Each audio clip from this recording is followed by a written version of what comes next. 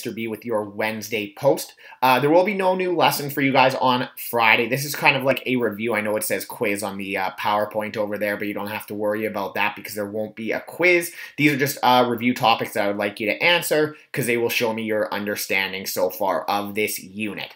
Uh, so I've ignored some of the other slides as you can too. I'm starting right on the last one just to give you your review questions.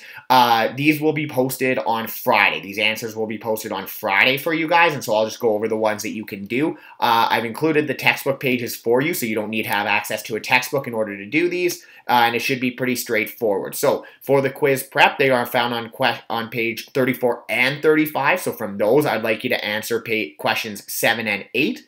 And then from page 13, this will also help you prepare doing questions 4, 5, 6, 7, and 8. So you have 7 and 8 on page 34, 35, as well as on page 13, questions 4, 5, 6, 7, and 8. Uh, I will post these answers for you on Friday just so you can review them. Uh, but I would like you to send your answers into me uh, as soon as you are able to, just so I can take a look at them. I'm okay if you look at the answer key, but try and answer them as honestly as you can on your own before looking at the answer key. Uh, I hope you guys have a good rest of your week, and I will see you back on Monday, June 8th for your next lesson.